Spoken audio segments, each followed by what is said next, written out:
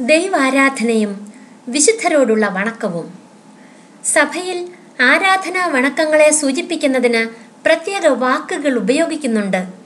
സഭയുടെ പ്രബോധനമനുസരിച്ച് വിശുദ്ധർക്ക് നൽകുന്നത് വണക്കവും പരിശുദ്ധ കന്യകാ മറിയത്തിന് നൽകുന്നത് പ്രത്യേക വണക്കവും പരമകാരുണികനായ ദൈവത്തിന് നൽകുന്നത് ആരാധനയുമാണ്.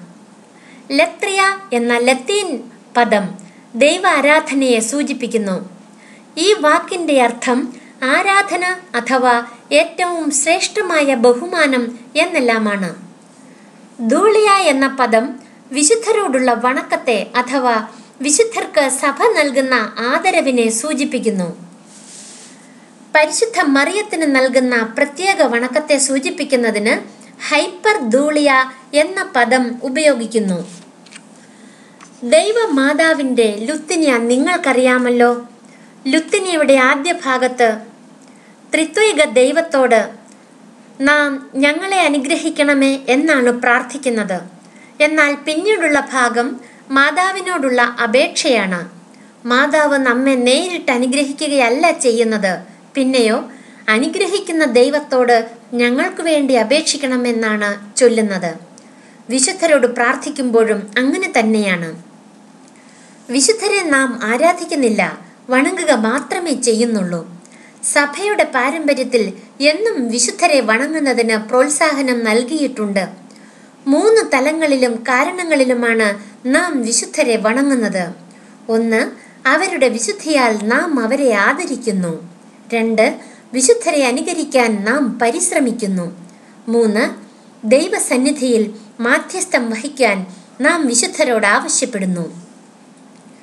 വിശുദ്ധരോടുള്ള വണക്കത്തെയും തിരുസ്വരൂപങ്ങളോടുള്ള പ്രാർത്ഥനയും വിഗ്രഹാരാധനയായി ചിലർ വിമർശിക്കാറുണ്ട്.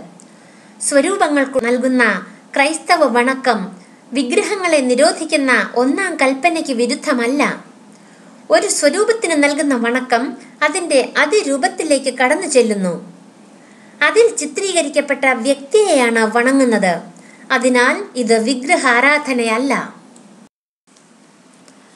പരിശുദ്ധ മറിയത്തോടുള്ള പ്രത്യേക വണക്കം. ലോകരക്ഷകനായ ദൈവപുത്രനെ നമുക്കായി സമ്മാനിക്കാൻ ദൈവത്തോട് സഹകരിച്ച മനുഷ്യ വ്യക്തിയാണ് പരിശുദ്ധ കന്യകാ മറിയം. അതിനാൽ പരിശുദ്ധ കന്യകാ മറിയത്തിന് സഭ പ്രത്യേക വണക്കം നൽകുന്നു.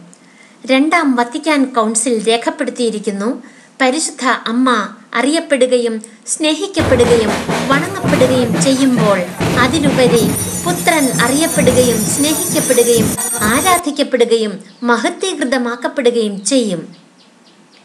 മാതൃഭക്തി സഭയുടെ പാരമ്പര്യത്തിന്റെ ഭാഗമാണ്.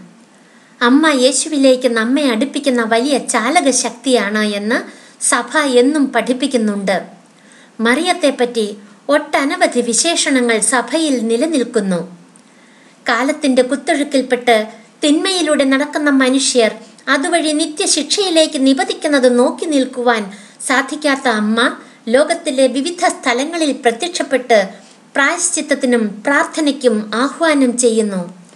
മാതാവ് പ്രത്യക്ഷപ്പെട്ട സ്ഥലവുമായി ബന്ധപ്പെട്ട് വിളിക്കുന്ന പേരുകളാണ് കർമ്മല മാതാവ് ലൂർദ് മാതാവ് ഫാത്തിമ മാതാവ് വേളാങ്കണ്ണി മാതാവ് വല്ലാർപാടത്തമ്മ കൊരട്ടിമുത്തി ബെച്ചൂർ മുത്തി മുതലായവർ.